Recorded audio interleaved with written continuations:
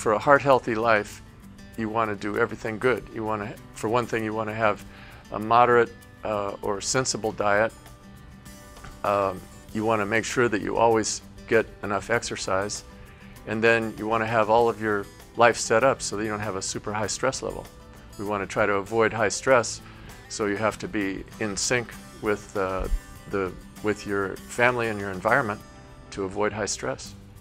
And we want to, obviously, I, some people may not find this totally obvious, but you cannot be exposed to smoke, and the worst thing you can possibly do is smoke cigarettes or other tobacco products.